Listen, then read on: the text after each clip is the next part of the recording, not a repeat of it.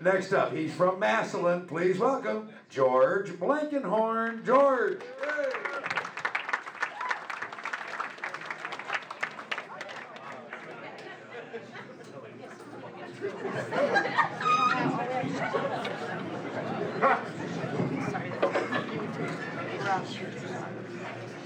I'd like to thank you for coming to my intervention. but I will wake up butt naked in one of your front yards. A terrorist is someone who terrorizes and frightens people. I'm certain that Honey Boo Boo works for Al Qaeda.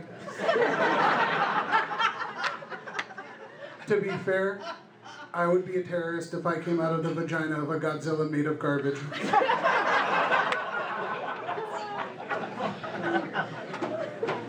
My favorite Nickelback song is normally the sentence where I stop listening to you.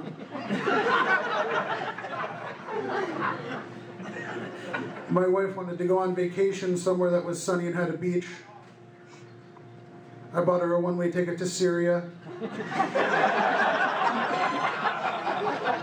she must she must be having a great time. I haven't heard from her in weeks.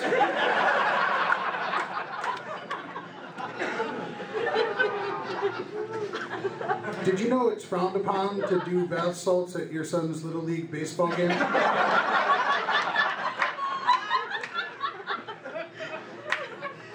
I just wanted to make it entertaining because that sport is built on lies anyway.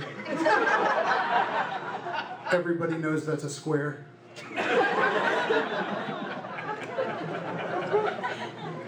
I'm glad that fat women in pajama pants don't turn me on because I can still wear sweatpants to Walmart.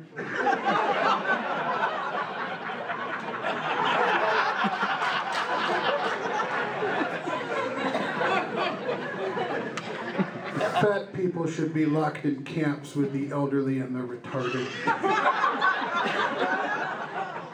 At least they have a chance to get out.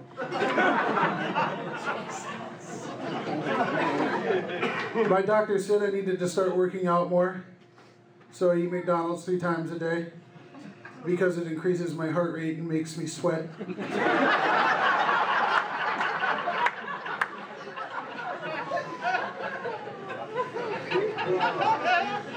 I was leaving my doctor's office in the mall, and I realized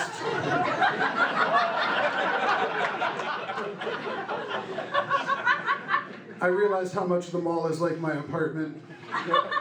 It's well lit, lots of windows, and completely filled with fully dressed mannequins.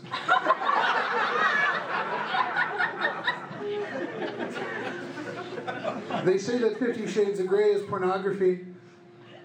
I read it. There's not a single pizza delivery guy in the whole book.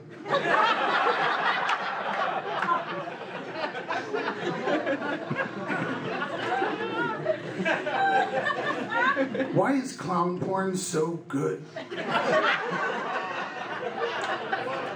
Is it the rhythmic honking?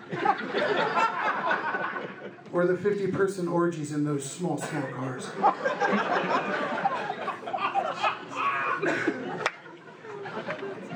I've always found the hardest part of dating is cleaning the blood out of my van.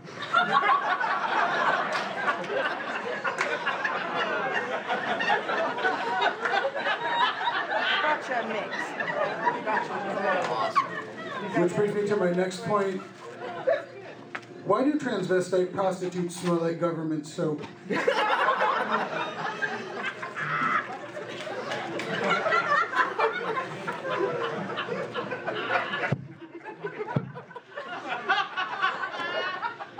That was my knock knock joke.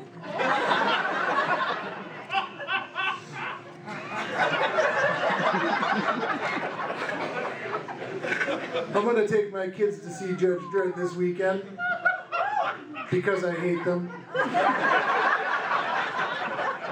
And I want them to be as miserable as me for approximately 96 minutes.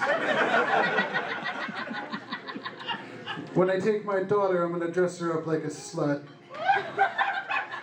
so she can feel more empowered and self confident. And besides, fashion's just fun. After a lot of deliberation, I've decided that my favorite sexual position is in.